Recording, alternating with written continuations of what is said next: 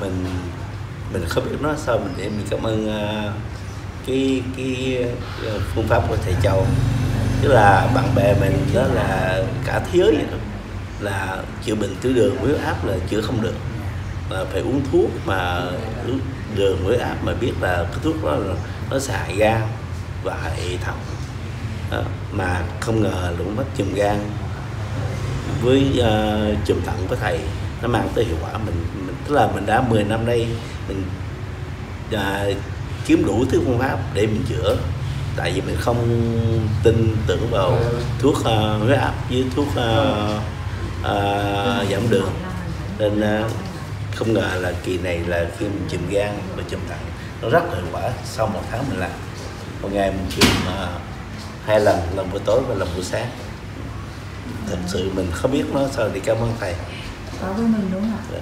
Với nên mình. uh, khuyên uh, các anh em ai mà bị tiểu đường huyết áp nên mạnh dạng chùm gan và chùm thận À, chúc mừng anh thay mặt cho thầy à, cũng như bộ môn rất rất là cảm ơn cái báo cáo của anh. Cái này sẽ giúp rất là nhiều người đấy ạ? Đã làm cho mọi người có cái niềm tin đúng không? Và thực hiện một cái kỹ thuật mà nó quá ư là đơn giản mà lại rẻ tiền. Không có tốn kém mà cũng không có phức tạp, khó khăn gì cả.